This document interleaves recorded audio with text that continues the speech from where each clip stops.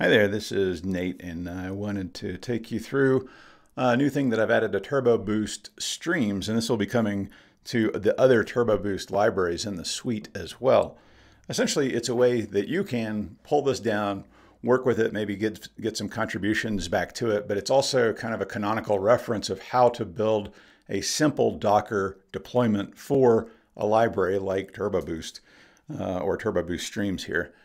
So in this particular case, I'll just pull you down through the documentation. Uh, I won't really go into what Turbo Boost Streams is. I'll leave that as an exercise for you if you don't know about it yet.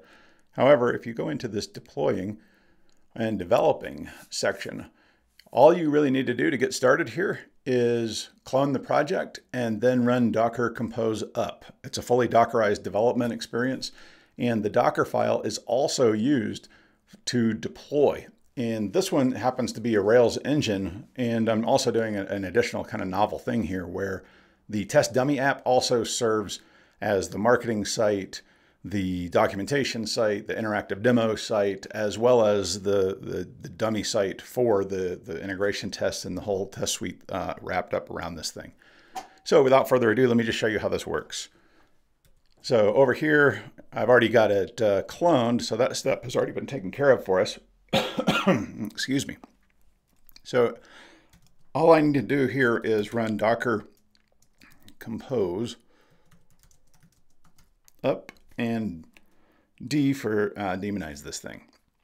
It will actually bring these things up. If we look at another tab, I can also tail the containers here. And I've got another gem that's in the works that I use for some uh, some help with some of these things. So I'll just run containers tail. This will actually tail all of the containers that I've got in my configuration. And you can see that it's currently bringing the web container up. While that is going, well, actually we'll drop in and take a look at the code here in just a minute. It should, it should be up and ready to go shortly. It looks like we're pretty much there. We just need to get the health check to pass. So now that that's running on localhost, I can actually switch over here. And if we go to localhost, you'll see that I'm now running the app. And this is the full app. You can drop in and start messing around with some of these turbo streams. And this is actually the test dummy app, but it also incidentally is the app that deploys uh, for the uh, production site here. So if we look at um, where this thing actually deploys, this is the same exact application that we are running out of the Docker container. So kind of cool uh, in that regard. But now that we're running, let's just take a look at some of the files that are here. And uh, the, the, main one, uh, the entry point here is our Docker file. But we're also running this locally. So locally means we're going to pick up this Docker Compose. And we run three primary services on Docker Compose. And essentially what that's doing is we've got a web server that runs Rails. We've got an ES build server that actually is monitoring the library code, the JavaScript library code, and rebuilds if we make changes to the library code.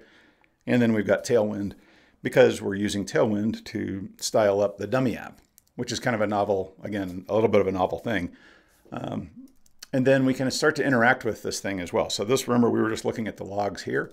Uh, with my containers gem, I can actually drop in and do all sorts of stuff here. So if I just run containers rake, um, this will essentially run, uh, it, it, shows you what it's doing here, but it actually kind of uh, takes that syntactic sugar on the, on the um, CLI there and will translate it down into um, some more verbose Docker commands for us. And you notice that I'm, I didn't even really have to specify what Docker service or container it was actually targeting there. And that's because I've got a configuration that runs with the containers gem that tells me what the, the actual default um, container or service is that I want to run things on. But I can also do things like uh, containers tail, and then I can give it a service. And in this case, the service corresponds to one of these service names in the Docker Compose file, uh, such as web, esbuild, or tailwind. So for example, if we wanted to tail uh, like the ES build and to see what's happening inside of there, we can run we can run that and we can actually see what's happening inside of that. But if we don't specify one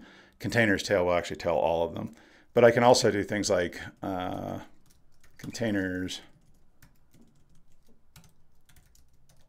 bash, and this will actually just drop me into the default um, container, which is web. I can also be really explicit about that if I wanted to run a uh, bash on one of the other ones.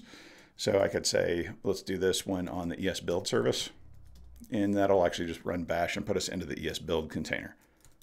You can actually see that too if we look at the uh, Docker PS uh, to see the containers that are running. And there you go. I've got these Turbo Boost containers that are actually operating. So pretty, uh, pretty cool stuff. And outside of that, oh, and that, that same Docker file actually deploys. So this one is corresponding with a fly configuration. Here's the fly configuration. And it does a few different things. Uh, one last little detail here uh, that you can use as a kind of a reference point is in the bin directory, I've got uh, this Docker run and it runs local or remote. Remote is for the remote deployment and local is for the local deployment. So we do a few things here. We set up things like uh, uh, jemalloc and a few other things. We, we do some symlinks because we're there. We've got these external volumes that we mount. So the dependencies like uh, bundle and and node modules actually are persistent between bringing the containers up and down. Same is also true of the remote deployment. We do something similar there, but you can actually see we actually switch into the test dummy app and then spawn the, the test dummy app. And then to see that deployment go, all I do is just run fly uh, deploy after all that configuration and the same configuration goes. So we're actually doing a production deployment right here.